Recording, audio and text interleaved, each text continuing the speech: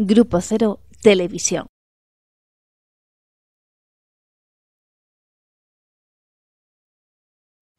Casi una autobiografía de casi un premio Nobel. El indio del jarama, editoriales, 1992-1997. Ah, como si hablo del indio del jarama, eso meto después de su conferencia algunas editoriales del indio del jarama. Que no sabe lo que era, ¿no? Ahora otra vez. Editorial Julio-Agosto del Julio-Agosto, número 92, ¿serás? Ah, no, del 92, de 1992, número 4.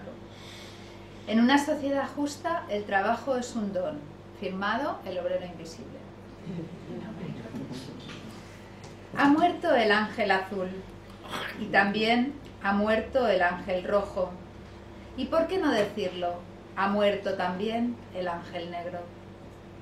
Una vez asesinado Falcone con mil kilos de dinamita de la moderna mafia italiana, los congresistas italianos por fin se pusieron de acuerdo.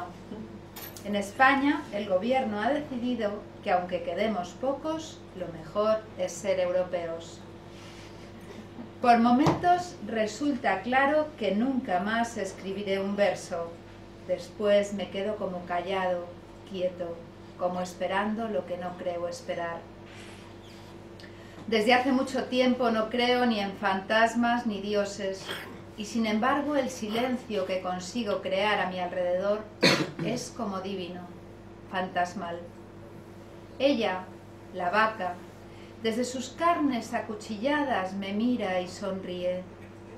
Yo veo caer desde sus grandes ojos demasiado abiertos como para estar exactamente vivos los últimos pedazos del universo. Lenin y Marx son arrancados de las calles para volver a sus libros escritos, única verdad palpable de que hayan existido. En Los Ángeles, los negros se debaten por volver a morir por una igualdad que nunca conseguirán. Y en España, Felipe se come un pedazo de vaca muerta creyendo que es un pedazo de Europa lo que se come. El ministro de Relaciones Exteriores reclama una independencia que él no estaría dispuesto a dar si fuera inglés. Mientras tanto, los ingleses esperan que las próximas elecciones las gane Aznar para que España bloquee el Peñón y ellos tengan excusa para bombardear Andalucía, que pensándolo bien después de los festejos del 92, no hará falta ningún bombardeo para destruir lo que ya no existirá. Un par de indios se sublevan en Paraguay por recibir un trozo de naranja diario y en Buenos Aires ambicionan ser como en Canadá para que Estados Unidos les chupe los huevos. Los socialistas se enferman de enfermedades raras. Uno de los ministros un viajero nato, enflaquece y está todo demacrado porque no traga bien la comida que el gobierno le quiere hacer comer. Hay algunos que son abandonados por sus amantes y mujeres legales antes de perder por escándalo en las próximas elecciones.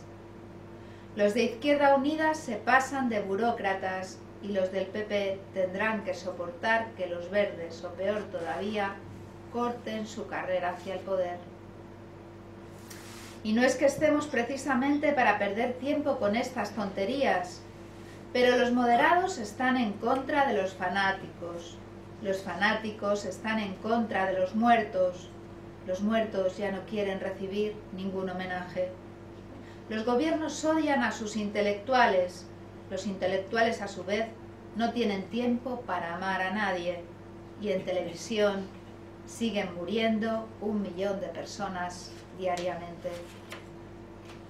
Los agujeros negros se siguen expandiendo como en el inicio del universo y Dios ya no tiene fuerza ni para bendecir el pan, que ya muy pocos comen todos los días. Y como si esto fuera poco, acaba de parir mi abuela en una de las calles principales de Nueva York uno de sus presidentes besa el cuello de Gorbachev y le coloca una medalla en el culo. Es por todo esto que la hoy... historia. ¿Quién es ese? ¿Quién es el que le Por- pone la El medalla? presidente de Rusia, Rusia el primero, Gorbachev, el presidente de Rusia. No, no, ¿Cuál es el presidente americano. Rusia? Bush, debe ser. Pero el año, Es por todo... En el Padre, 92... el padre. sí. La guerra del Golfo. Es por todo esto que hoy bendigo esta paz que me rodea entre las letras, contagiadas por la alegría desmesurada de saberme infinitamente atado a las palabras que aún todavía no he pronunciado, porque no vaya a ser que algún hijo de puta quiera hacerme pagar por ello. Arranco los ojos de la vaca muerta a palos por la injusticia de los poderosos y poseedor de esa visión estupenda, miro los diarios y me conmuevo, me conmueve tanta estupidez, sobre todo en los independientes por la mañana. Y no puedo explicar país. el país, diario independiente. De la mañana. A la droga dependiente. sobre todo en los independientes por la mañana y no puedo explicarme exactamente por qué quieren acallar, matar, deben ser asesinos, la voz que represento. Soy el indio del jarama, madrileño por cojones. Y no quiero contar ninguna historia, más si de contar se trata, tengan cuidado, señores, que al cantar mi voz se ensancha y Madrid me queda chica y Andalucía en el alma y los sures, que ya España no me alcanza. Soy el indio del jarama, metáfora, dulce metáfora, inexistente palabra. Soy el mundo, ya verán, México en mi palabra canta y Turquía y hasta Irak tienen bandera en mi patria. Y ya para terminar, para que no falten las páginas, para dar cabida a los sueños, dejo pasar el fenómeno de los rusos maldiciendo y le doy un beso a Cuba, que todavía la quiero.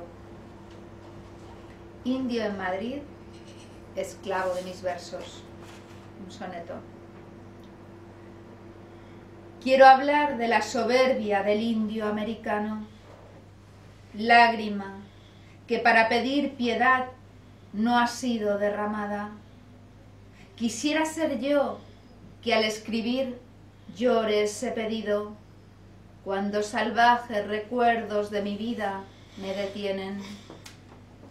Cualquiera de los jefes diría sabiamente que si hay una lágrima todavía escondida, una lágrima guardada durante cinco siglos, una pequeña lágrima que todavía es nuestra, si esa lágrima existe, debe quedarse donde está, allí, guardada, escondida, esperando el momento, esperando el trueno, la expansión de la selva, esa perla del alma, esa lágrima nuestra, debe esperar del alba antes de derramarse los gritos enloquecidos de Dios arrepentido.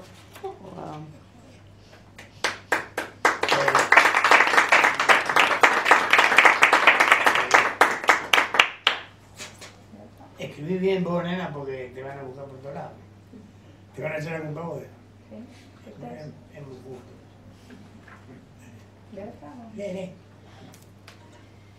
El Indio del Jarama, editoriales 1992-1997. Editorial de septiembre-octubre del 92, número 5. Estamos al borde de una hazaña. Con este número 5 de la revista estamos solo a un número de cumplir con los requisitos del primer año de vida. Una vez cada dos meses hacen seis números por año. No solo estamos cumpliendo, sino que también estamos realizando. Más de 400 suscriptores, más de 200 revistas de canje, más de 50 psicoanalistas, casi 100 poetas y pintores. Así lo atestiguan. Y no solo América se abre a nuestras conclusiones, sino que Europa comienza a darse cuenta que sin el indio del jarama Sí. ha de ser muy difícil entender los nuevos tiempos. El comunismo cayendo por las laderas de la desnutrición. El cristianismo atascado en sus contradicciones empresariales, como bien lo ha demostrado la operación que debieron hacerle a su cabeza visible. El capitalismo enloquecido, extraviado, porque a nadie le toca lo que le debería tocar y ya nadie tiene lo que debería tener. Lo que sobra no puede ser distribuido porque se pudre antes y lo que se distribuye no alcanza ni para la mitad. Y esto, consecuentemente, produce una baja en la producción y nacer ya es casi imposible. Y como decíamos en nuestra más tierna juventud, cuando todo está destruido o a punto de destruirse, la única posibilidad es poética. Y nosotros venimos a ofrecerle al mundo esa posibilidad. Mientras nosotros apostamos que el 92 lo único que quedará somos nosotros, los lacanianos y parecidos intentarán nuevamente en un país hispano y americano averiguar si la transferencia es del fantasma o es del amor. O si bien la transferencia puede ser reemplazada por la política editorial de ir publicando muy despacito las obras del muerto para que siga vivo. O en definitiva, si para un lacaniano o parecido la verdadera estrategia de la transferencia es con el padre muerto, ya que no solo la detención institucional data del 81, año de la muerte de Lacan, sino que al ocupar el lugar de yo soy el uno, alguien a quien el propio Lacan no le había permitido ejercer como psicoanalista, el sistema lacaniano en su totalidad interrumpió su psicoanálisis. De lo dicho anteriormente se desprenden con facilidad los inconvenientes actuales de dichas formaciones. Imposibilidad de generar escuela, incapacidad de producir trabajo, absoluta falta de creatividad en la escritura y por último, para poder seguir con nuestras cosas, decir que para los lacanianos o parecidos no se trata de una ausencia de ser, sino, cosa terrible, de la ausencia de interpretación. Es decir, una comunidad sin deseos, El tipo a mí me gusta, ¿sabes por qué me gusta amenaza? Porque escribe como si tuviera poder.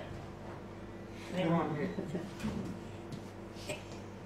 Escribe como debería escribir Trump, porque... debe ser el poder de la escritura, ¿Cómo? debe ser el poder de la Poder de la escritura. Y además, eh, con, con las ideas que tengo, de que uno no escribe para los contemporáneos, sino que escribe para decir cómo nos trataban en el futuro. Además, no dejarse someter también es un poder, ¿Cómo? Que es un poder que tiene. O sea, no dejarte someter, Bueno, ese es verdad. No, porque es un poder que nadie da. ¿Cómo? Generalmente se tiene un poder que te dan otros. En cambio tú tienes un poder que te has ganado, que has producido, no, no te lo tienen que dar. Eres poderoso. Sí, yo me la hice y yo me la conocí. Eres muy poderoso. Entonces, dice que una ausencia de interpretación, es decir, una comunidad sin deseos, porque para que los haya, alguien tiene que quedar en posición de poder interpretarlos. Con tanta política universitaria, no queremos olvidar decir que el déficit del Estado español está a punto de batir todos los límites y que la ejecutiva socialista pidió de rodillas al presidente que no le apretara más los huevos al pueblo español, que un poco ya le dolían y que ni siquiera en Europa ya pasaban estas cosas. También queremos dar a entender que los descuartizamientos son cosas del pasado, pero igual nos preguntamos ingenuamente, claro está, porque somos ingenuos, si a Yugoslavia no le están haciendo lo mismo que a Irak. Válgame Dios semejante comparación. O peor aún, justo a nosotros que somos tan europeos, con tanto nacionalismo, con tanta mierda, nos quieran hacer lo que le hicieron a Tupac Amaru.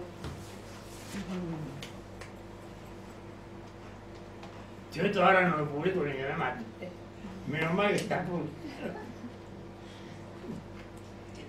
Soneto de Tupac. Este verso es la mano derecha de Tupac Amaru. Este verso es la mano izquierda de Tupac Amaru. Este verso es la pierna derecha de Tupac Amaru. Este verso es la pierna izquierda de Tupac Amaru. Este verso es el caballo atado a la mano derecha de Tupac Amaru. Este verso es el caballo atado a la mano izquierda de Tupac Amaru. Este verso es el caballo atado a la pierna derecha de Tupac Amaru. Este verso es el caballo atado a la pierna izquierda de Tupac Amaru. Este verso es el látigo que espantó los caballos de la derecha. Este verso es el látigo que espantó los caballos de la izquierda. Este verso es nada de nada, es el grito que desgarró la tierra. Este verso es el tiempo de los cuatro caballos reventados. Este verso es el cuerpo despedazado de Tupac Amaru. Este verso es por fin el último verso y está muerto.